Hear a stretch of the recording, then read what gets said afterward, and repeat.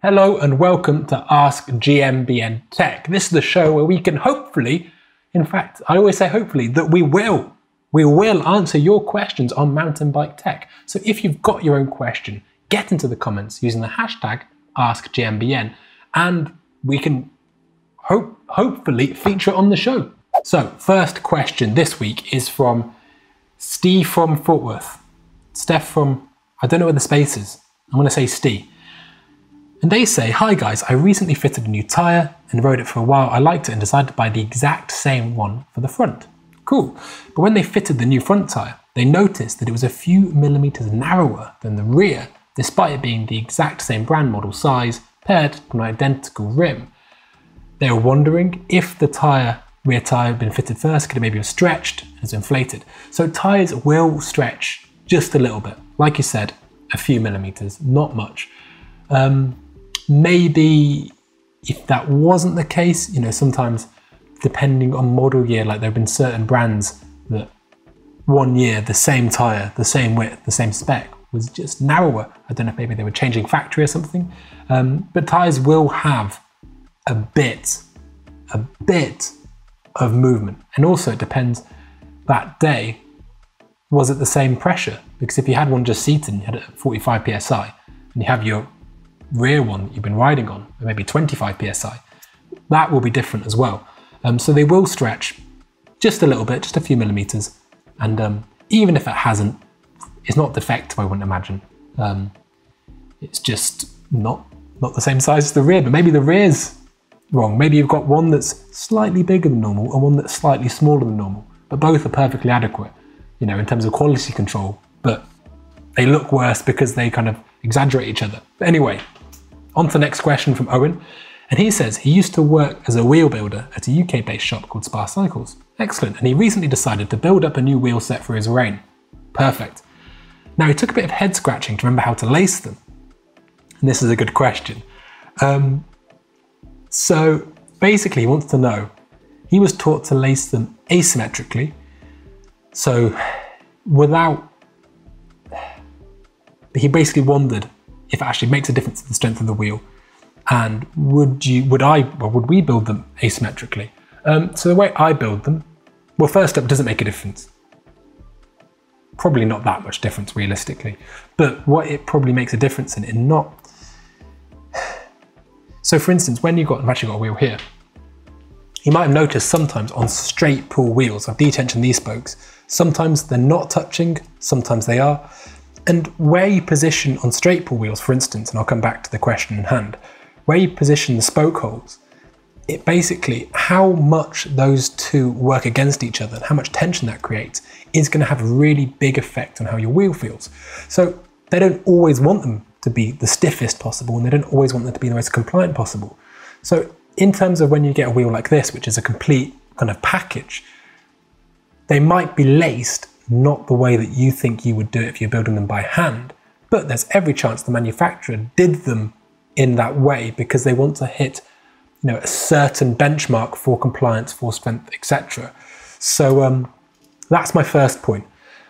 In terms of what um, what Owen means here in regards to lacing patterns, so when you have a driving force and a braking force, they operate on the wheel very differently. So the way the technical language for you, Owen, is personally, I would build a rear wheel with a disc hub asymmetrically, and I would build a front wheel reverse symmetrically. So if symmetric is for a rimmed brake wheel on the rear, I'd rebuild it all for braking forces on the front, which would be um, reverse symmetric, and I would build it asymmetrically on the rear. So an easy way to look at it is when you look at the hub, when you look at it straight like I'm looking at this one, your spokes will be going to the left. Your outbound spokes will be going to the left. That is pretty much a foolproof way to do it. Um, you know, you do hear different things. Like there was the, I've heard two people say it, but both people have said a different way. That imagine this was a rear wheel and this was your drive side. If you were in a downhill race and you were to send the chain over the back of the cassette, one way, I guess it would be outbound to the right, so going that way, would be more likely to kick out the chain. but like I said, I've been told it twice, and they both said it was different ways. So how how much um, how much truth that holds, I'm not so sure. Um, but basically, if I was building my own wheels, I would go asymmetric on the rear, reverse symmetric on the front, and um, yeah, couldn't shut up then. So I'm sorry for just probably boring you to death there, Owen, but I hope you got your answer. So next question is from, sadly, a username I can't pronounce. Sorry about that. And um, they basically say, I have an SRAM EX1 cassette lying around, and I'm curious if an e-bike specific drivetrain, such as the EX1 system, would be able to get more miles without wearing out on a standard bike. So basically, e-bike componentry on a standard mountain bike.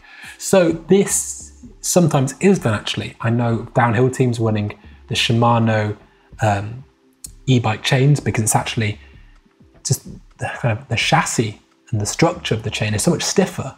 It does shift more predictably under large amounts of load, i.e., out the start gate. Um, maybe that also paired with um, the wider spacing of that EX1 cassette, it might give more um, reliable shifting under load, especially without a motor. Um, I don't know the exact figures. I do know anecdotally, I know people that have been able to get thousands of kilometers on an e-bike out on those EX1 cassettes. So I imagine they must be relatively, what's the word? Well, probably, probably they do suffer a bit of a weight penalty, I would imagine, but they probably are very hard wearing. And yeah, if it's got the range and it's good for your riding, you're not really fussed about weight, then it sounds like a great, great plan. Yeah, it also really depends on, on so many things, you know, your riding style, how many how much power you put out, how gentle you are, where you ride, etc. But it's probably a safe bet to get some more miles than a standard cassette at least. Next question is from Daniel Merg, and he says, Aloha, good start. Does the clutch on my rear derailleur hinder my rear suspension performance? Good question. After coming across a random YouTube video on the subject, I experimented on my 2015 Bronson. I switched off the clutch on the XT mech and found the suspension to feel much more supple plush and active with the clutch off, especially on small bump sensitivity. Have I fallen victim to an unvetted YouTube channel's influence? I think I could be on thin ice here. I'm, just treading carefully.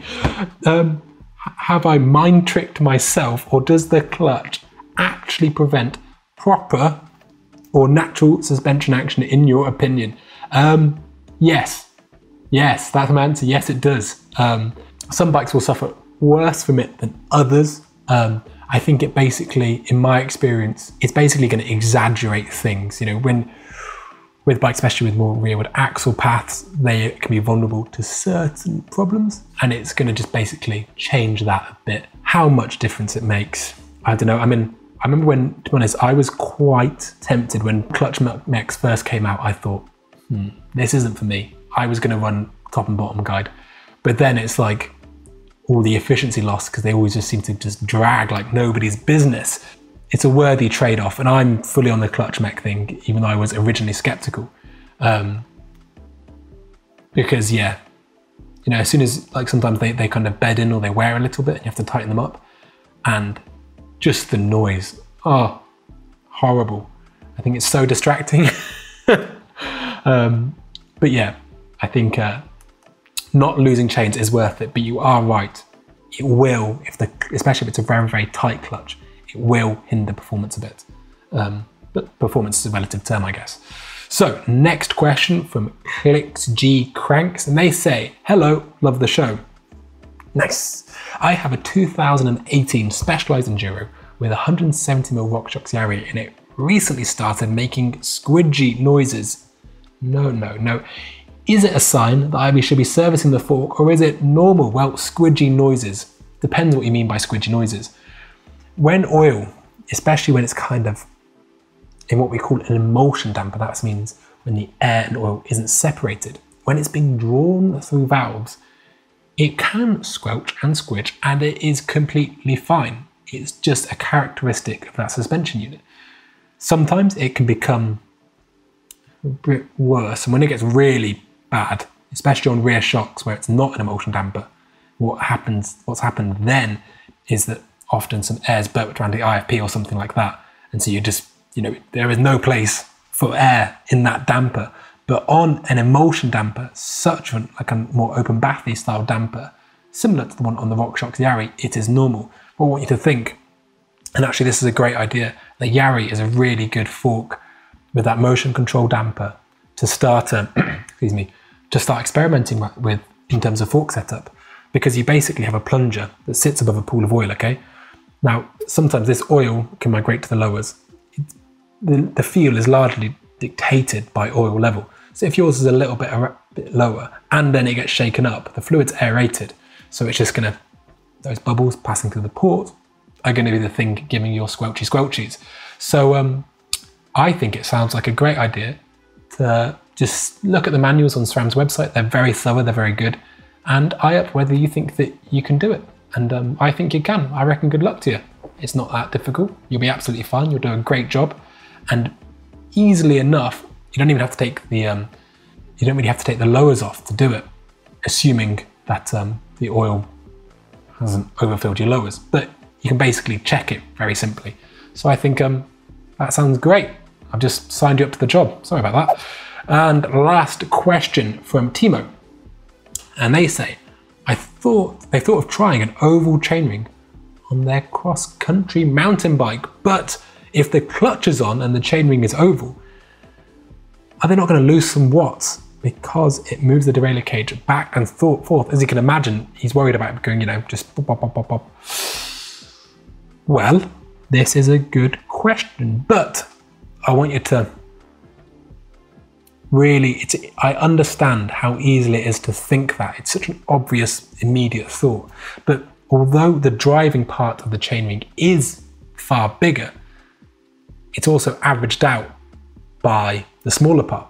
So there will be a minute difference, but I mean minute. I think actually I've seen on Absolute Black, I think it was like their website or their YouTube page, showing them, and it, it's, it's very, very, very small because it's only how many teeth are engaged at any one time. And it's not, say, if you had a standard 36 tooth or you had one that went up to 38. So yeah, at one point it is, you know, a bigger gear you'd be pushing, but it also goes down to probably a 30, whatever, you know, mid mid to low 30s. So um, yeah, it doesn't make any difference really, um, at least to my knowledge, and at least what I, the, you know, videos and bits of uh, bits and pieces of sin. But um, yeah, I think you should be all good. I, I won't worry about that. And that is it for another week of Ask GMBN Tech. Now, if you've got your own question, get in the comments using the hashtag AskGMBNTech, and we will hopefully be able to feature on the show. I hope for your sake, the Doddy answers it for you, and you'll get a lot less waffle than old Gubbins over here. But either way, we shall get those questions answered. So don't be shy. Any tech question, we can do it. Let's go. Thank you very much, and don't forget to like and subscribe.